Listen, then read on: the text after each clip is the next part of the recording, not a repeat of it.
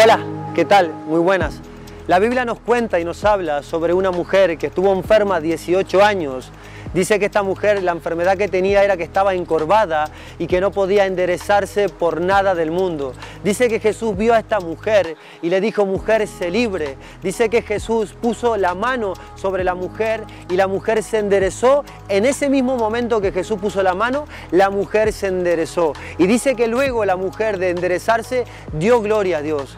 Yo quería comentarte si esta historia te parece conocida, si te hace acordar a algún familiar, algún amigo, algún ser querido, o te hace acordar a ti que por nada del mundo puedes levantar cabeza, que por nada en el mundo logras que tu vida se enderece. Hay personas que tienen problemas con la ansiedad, con la angustia, con la tristeza, con la depresión, con el odio, con la falta de perdón, con el rencor. Hay personas que tienen problemas con la soledad, con la justicia, con la policía, con la delincuencia. Hay muchos problemas en nuestras vidas y hay cosas que por nada del mundo se enderezan, que por nada del mundo cambian ni mejoran.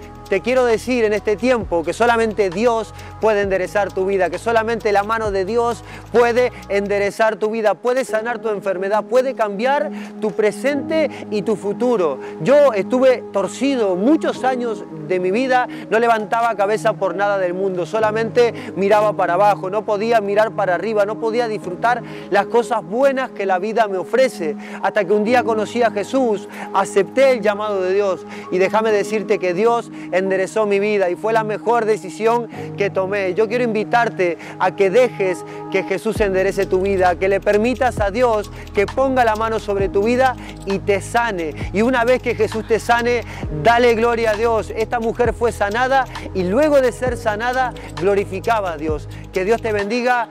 Vamos arriba y deja que Jesús enderece tu vida.